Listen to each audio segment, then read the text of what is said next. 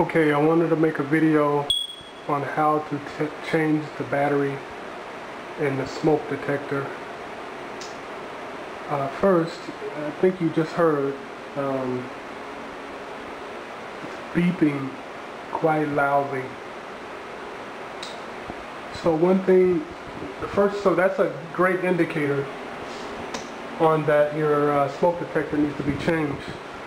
The other indicator is uh, you should see a red flashing light.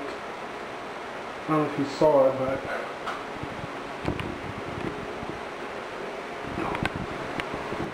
you should see a red flashing light.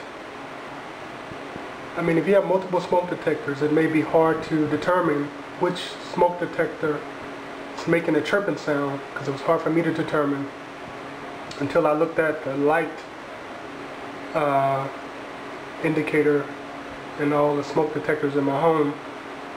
And I had to see a red flashing light.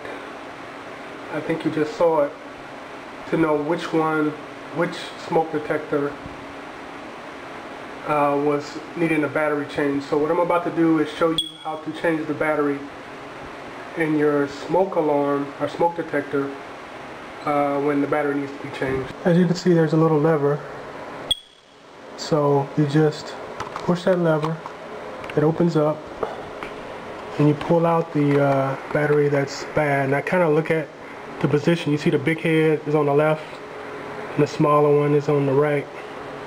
So I have the new battery, and as I mentioned, uh, the big head is on the left, the small head is on the right, so I just put it in there. Same, the exact same way.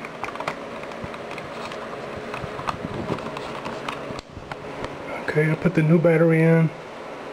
That's all you do, close it up. And uh, that's how you change it. So you shouldn't hear any more chirping from the battery. Should be, um, you know, it should resolve that.